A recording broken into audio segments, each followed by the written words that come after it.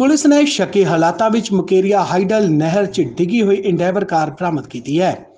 ਦਰਅਸਲ, ਨਹਿਰ ਦੀ ਮੁਰੰਮਤ ਕਰਨ ਤੇ ਨਹਿਰ ਵਿੱਚ ਪਾਣੀ ਘੱਟ ਹੋਣ ਕਾਰਨ ਲੋਕਾਂ ਨੇ ਬਲਾਕ ਹਾਜੀਪੁਰ ਨੇੜੇ ਅੱਡਾ ਝੀਰ ਦਾ ਖੂਹ ਵਿਖੇ ਨਹਿਰ 'ਚ ਇੰਡੈਵਰ ਗੱਡੀ ਦੇਖੀ ਤਾਂ ਉਹਨਾਂ ਤੁਰੰਤ ਹੀ ਇਸ ਬਾਰੇ ਤਲਵਾੜਾ ਪੁਲਿਸ ਨੂੰ ਸੂਚਿਤ ਕੀਤਾ।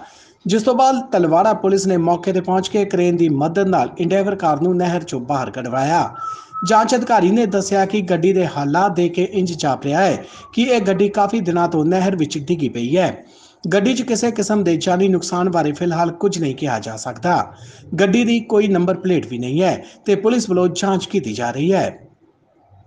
ਇੱਧਰ ਸਾਨੂੰ ਨਾ ਫੋਨ ਆਇਆ ਵੀ ਇਦਾਂ ਪਾਣੀ ਘੱਟ ਨਹਿਰ ਦਾ ਹੋਇਆ ਵਾ ਤੇ ਫੋਨ ਆਇਆ ਵੀ ਇੱਕ ਨਹਿਰ ਦੇ ਵਿੱਚ ਗੱਡੀ ਡਿੱਗੀ ਆ।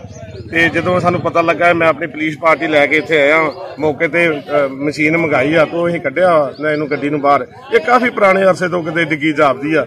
ਤੇ ਇਹ ਹੈਗੀ ਆ ਆਪਣੇ ਫੂਡ ਕੰਪਨੀ ਦੀ ਆ। ਪਰ ਸਰ ਇਹਦਾ ਕੋਈ ਨੰਬਰ ਨੰਬਰ ਹੈਗਾ ਹੈ ਗੱਡੀ ਦਾ? ਨੰਬਰ ਅਜੇ ਤਾਂ ਸਰ ਕੋਈ ਇਹਦਾ ਮੋਰੇ ਹੈ ਨਹੀਂਗਾ ਮਤਲਬ ਪਤਾ ਨਹੀਂ ਲੱਗ ਰਿਹਾ। ਵੈਰੀਫਾਈ ਕਰਕੇ ਵੇਖ ਲਾਂਗੇ ਵੀ ਇਹਦੇ ਚੈਸੀ ਨੰਬਰ ਤੋਂ ਇਹ ਕਿੱਥੋਂ ਦੀ ਗੱਡੀ ਆ ਤੇ ਕਿਹਨਾਂ ਦੀ ਗੱਡੀ।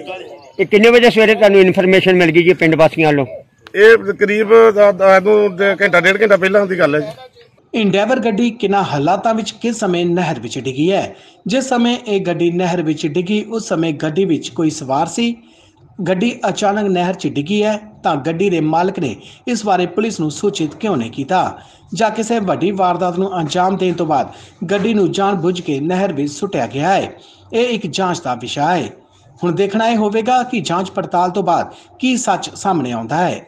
ਨਵਰੰਗ ਚੈਨਲ ਲਈ ਮੁਕੇਰੀਆਂ ਤੋਂ ਬਿਊਰੋ ਰਿਪੋਰਟ।